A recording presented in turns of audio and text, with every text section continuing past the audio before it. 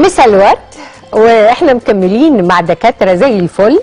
آه، مفيش أكتر من خوف الأم وقلقها على طفلها آه، لما بتسمعه بكح أو مش قادر يتنفس. كل أم بتقلق وما بتبقاش عارفة تعمل إيه وخصوصا الأيام دي آه، الجو صعب جدا. ومع الشتاء بتزداد الحساسية عند الأطفال. أو أحيانا في أطفال ما عندهمش مناعة بتبقى مناعتهم هي من عند ربنا. أنا معلومة سمعتها وعرفتها إن هم عندهم مناعة لغاية ست أشهر بتبقى قوية ولكن مع البرد والحالات الجوية دي صعبة جدا. في الحالة دي تعمل إيه بقى؟ خلينا نتكلم عن الحساسية عند الأطفال حساسية الصدر والأنف وذلك مع ضيفي اللي منورني النهارده في مثل الورد دكتور ناجي الحسيني أستاذ طب الأطفال وحديثي الولادة.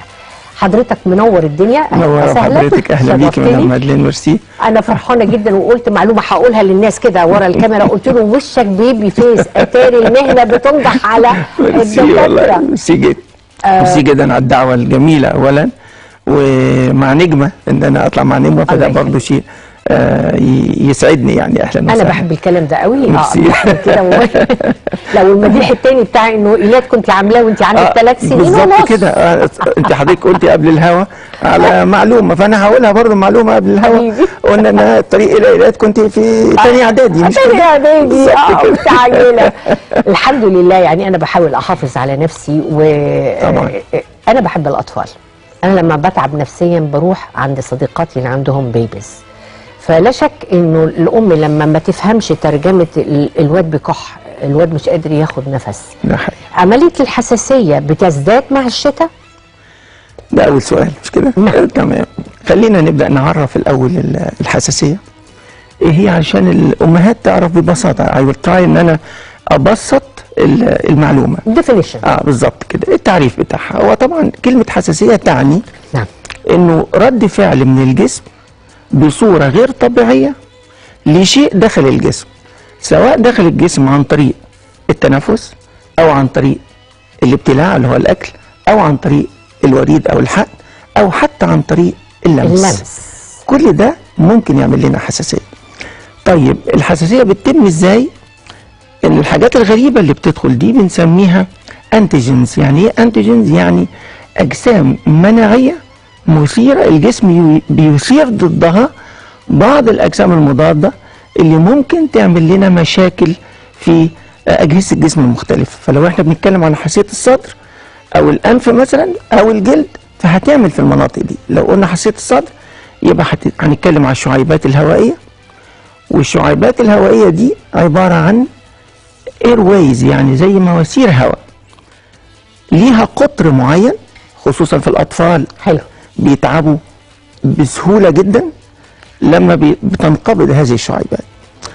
إحنا فالتعريف كده ابتدينا دلوقتي آه، فندنا. إيه هي الحساسية؟ وفندنا الحساسية دلوقتي بنتكلم عليها تحت الصدر. بالظبط كده. حلو. في حساسية الصدر. تمام. بتحصل إزاي؟ آه قلنا الإيرويز أو المسالك التنفسية بتاعت الأطفال إحنا بنتكلم عن الأطفال بتبقى بيحصل حاجة بنسميها bronchial hyper reactivity يعني انقباض لهذه الشعيبات الهوائية وبالتالي القطر بتاعها بيقل. طب هي أعراضها إزاي؟ نعم. عشان أنا أفهم إنه ابني حصل له ده. بالظبط كده. أنا مع هذا الشرح هيبان هنقول هيحصل له إيه. تمام. لما تنقبض هذه الشعيبات الهوائية القطر بتاعها بيقل. الهواء وهو داخل بيعاني صعوبة. الريزيستنس يعني المقاومة بتقل لأن الماسورة ضيقت. فلما بينزل لتحت بينزل ببوش أو بضغط هواء شديد فبيعاني الطفل هنا من صعوبة إنه ياخد النفس. النفس لما يجي يخرج في شعيبات مقفولة أو شبه مقفولة أو ضيقة بيخرج برضه بصعوبة. مهم. فكأنك في ماسورة ضيقة يعني لو ماسورة المية المية بتمشي فيها ما نسمعش صوت لكن لو ضيقت الماسورة بنسمع خرير الماء نسمع الصوت.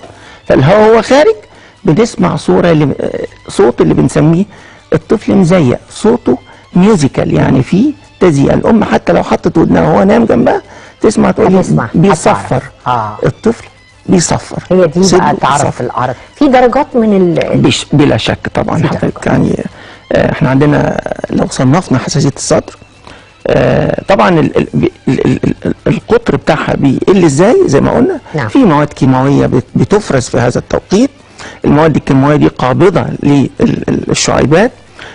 لما تنقبض الشعيبات تزيد الإفرازات الطبيعية. أي جسم فينا كلنا في إفرازات في الأنف وفي ال... وفي الجهاز التنفسي ربنا خلقها وفيها أهداب زي رموش العين بتتخلص من الميكروبات وتتخلص من الأجسام الغريبة. الله، الله. فكل دي لما تنزل لتحت لما تنزل لتحت وتتغلب على هذه ال ال ال ال الباريرز أو ال- الحاجات ال- ال- الطبيعية أو الخطوات الطبيعية في المقاومة يبقى يحصل ال- الحساسية والتزييق أو قبل ما الالتهابات عن الوقاية عايزة أخلص كل التفنيدات بالظبط. نخش على الأنف. تمام. حساسية الأنف. حلو خالص. إحنا قلنا تعريف الصدر نقول الأنف. أيوه. الأنف طبعا هي الجزء الخارجي من بداية الجهاز التنفسي. طبعا. فده في غاية الأهمية. ال- الأطفال في أول أربع شهور من عمرهم البيبيز بنسميهم obligate nasal breathers بيتنفسوا من الأنف بطريقة إجبارية. ما يعرفش ياخد نفس من بقه. من بقه. عشان كده الأم لما بتيجي ترضع وابنها عنده خنفرة أو مناخيره مقفولة يسيب صدرها عشان ياخد يتنفس الهواء. حبيبي. فيبلع الهواء يجي له انتفاخ وهكذا. فالأنف لازم تكون مفتوح علشان يعرف يتنفس خصوصا في أربع شهور. طيب بعد كده يعني ممكن بيبي صغنطط كده يبقى عنده جيوب أنفية؟ آه، الجيوب الأنفية ليها نظام, آخر, آخر. آه لأن يعني في جيوب تبقى لسه ما ظهرتش قبل 8 سنين وفي عند 6 سنين وفي بتبقى موجودة عند الولاده فدي خليها على جنب عشان ما نلخبطش الناس. لكن حساسيه الأنف بقى هي شوية متقدمة يعني بعد السنة الأولى مثلا. هنا بقى بيحصل الآتي. الناس آه، بتشعر إن مناخيره باستمرار مقفولة. نمرة اتنين أهم حاجة عايز إن هو يحكها. آه. نمرة ثلاثة ممكن يلاقي عينه بتدمع نمرة أربعة ممكن يلاقي غمقان لون تحت جفون العين. كل ده دلائل. دلائل على حساسية الأنف والعطس مستمر كتير. وبالتالي لما بيجي نفحص الأنف بتاعه ما بنلاقيهاش إنها لونها أحمر أو ملتهبة لا ده حاجة تانية. بنلاقيها لونها المزمنة بقى. لونها جراي يا حبيبي. بتبقى لون ال آه لون ال الأنف من جوه لونه جراي وبالتالي آه هذا الطفل آه باستمرار محتاج آه علاج. بقى هنقوله في آه يعني لو حبينا نلخصه نقوله بسرعة قلنا الاعراض. حتى بنسميه atopic march يعني هو لما طول ما هو عمال يهرش في مناخيره نلاقي crease يعني زي تنايات الجلد دي ألاقي تنايات جلد على الأنف. وكمان ممكن ألاقي ال- ال- ال- ال shiners أو اللي بنقول عليها الغمقان اللي تحت ال- العينين ثم العطس المستمر ثم مناخيره مقفولة ثم صعوبة في الت- في التنفس بتاعه ثم بالليل بقى الأم تقول لي إن هو بدأ يطلع صوت شخير بالليل وهو نايم؟ مناخيره مقفولة فبيتنفس من بقه. فده ومع التنفس من البق هيجي له التهاب الهواء البارد يدخل يجي له التهاب في الحلق والتهاب في اللوز وهكذا. فالأنف في غاية الأهمية.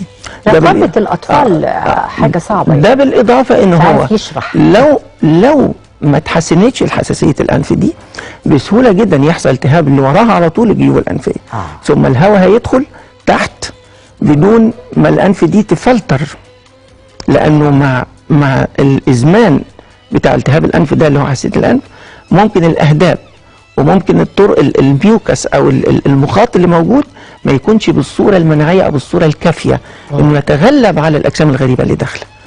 فيبقى دخلنا في حلقة مفرغة التهابات زيادة وقفل الأنف ثم نيجي على الجهاز التنفسي ويزود لي كل ما هو في الجهاز التنفسي السفلي.